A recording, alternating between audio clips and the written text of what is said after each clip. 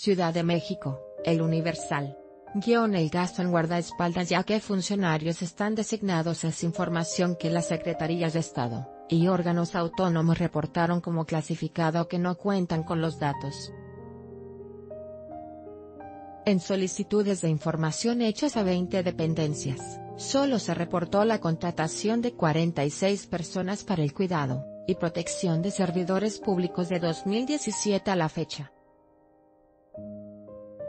La mayoría asegura que no dispone del servicio, otras dicen que es información reservada y solo el Banco de México, la Cancillería y la Secretaría de la Función Pública indicaron que pagan por guardaespaldas. El Banco de México detalló que en los últimos 12 años ha destinado al menos 103 millones de pesos en el pago de personal de seguridad, y que el año pasado se contrató a 23 guardaespaldas, pero pueden ser más, ya que solo proporcionó datos parciales, la Función Pública informó de 13 y la Cancillería, de 10.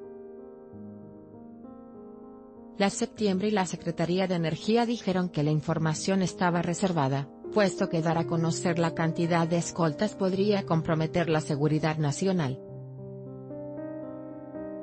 Las que señalaron que no cuentan con ese servicio o no encontraron registro fueron las Secretarías de Gobernación, Hacienda, Salud, Comunicaciones, Agricultura, Desarrollo Social, Defensa Nacional, Economía, Desarrollo Agrario, el Consejo de la Judicatura Federal, y el Banco de Ahorro Nacional y Servicios Financieros, así como la Cámara de Diputados y el Senado. En tanto, la Corte dijo que necesitaba más tiempo para proporcionar la información, y la Secretaría del Trabajo argumentó que no está facultada para dar los datos.